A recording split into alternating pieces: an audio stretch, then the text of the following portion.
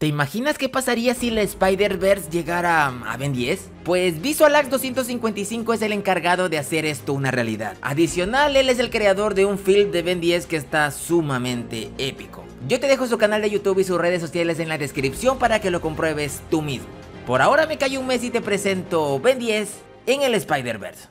Hola, muy buenas a todos. Yo soy Ben Tennyson y bienvenidos al mes frío en el canal de Frío 10000.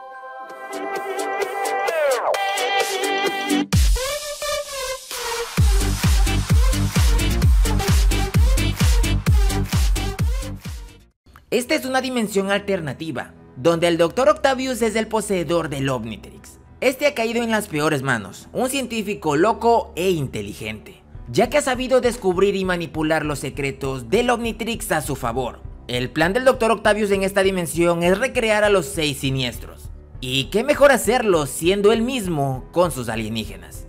El Dr. Octopus es el primer representado, teniendo la versión más avanzada del Omnitrix, ya que este no se transforma literalmente en un alienígena. Este ha hecho uso del poder de un Babobiot para poder mejorarse de esta manera. Su forma cuenta con un diseño llamativo y una ropa muy similar a la que usaban en Ben 10 Supremacía Alienígena. Los brazos del Tetraman se acoplan tan bien como los vistos en el capítulo Pegado a ti, ¿Qué es lo que quieres de mí? ¿Sangre? Verás que no será fácil. No deseo lastimarte. Quiero que unamos fuerzas. En su creación podemos ver el boceto inicial donde, madre mía, el pedazo de alienígena que este iba a ser. Donde aquí se parecía mucho más a una versión de Ben 10000, en un mundo post-apocalíptico donde el Babobiot aún seguía con este.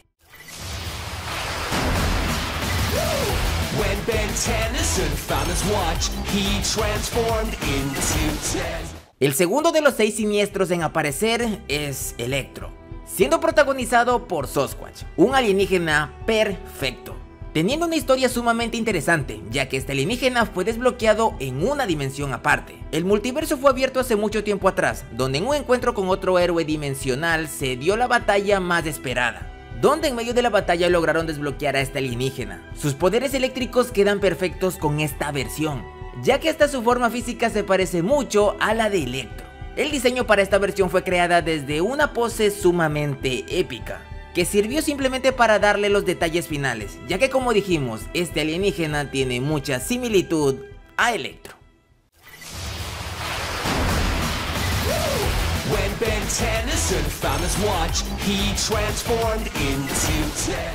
El tercer villano en ser recreado por un alienígena es el hombre de arena, que en esta ocasión está representado por un alienígena de Omniverse, siendo este Blocks, donde déjame decirte que los poderes de reconstrucción que tiene este alienígena quedaron perfectos para esta versión. Blocks al igual que el hombre de arena pueden crear diversas formas con sus cuerpos, lo que lo convierte en el candidato adecuado para esta función.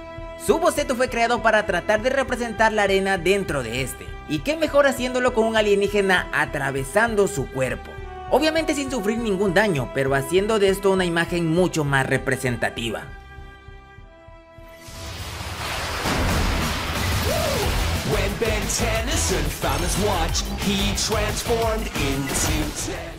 El lagarto es el cuarto miembro de los seis siniestros, que será representado por Wildman. Déjame darte los motivos. Recordemos que en sí el lagarto es un reptil y Wildvine simplemente es una planta. Pero ambos cumplen una característica muy importante en común, y es el poder de regeneración, en la cual se centra el lagarto, o su versión de Doctor.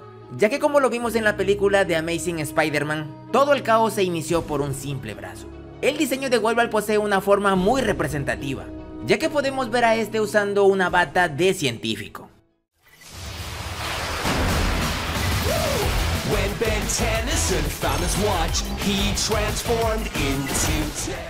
Vampire es el quinto miembro de los seis siniestros que nos trae varias sorpresas, ya que va a representar al primero y al más icónico de los enemigos, el Duende Verde. Ahora, el Omnitrix le ha dado un pequeño regalo, ya que su aerodeslizador tiene una forma de insectoide, basándonos mucho en los vehículos alienígenas que nos pudo presentar el reboot. El diseño de Vampire queda perfecto en esta versión, ya que la armadura del Duende Verde tiene una ligera similitud con este traje. Rhino, el último de los seis siniestros será presentado en el Instagram de Visualax. Así que si no te quieres perder este modelo que imagino será creado en base a un mongosaurio, visítalo en su Instagram. Y de paso no olvides de pegarle una me gusteada a este video, una suscribida al canal y una campanada a la campana. Ya que todo esto del multiverso me ha hecho pensar cuántas veces lo hemos visto en la misma saga de Ben 10. Ya saben, veces en las que Ben se ha topado con él mismo o diferentes versiones. Así que no te pierdas del siguiente video ya que hablaremos de todo esto en un top super épico. Por mi parte ha sido todo. Yo soy Frío y conmigo será hasta la próxima. Adiós.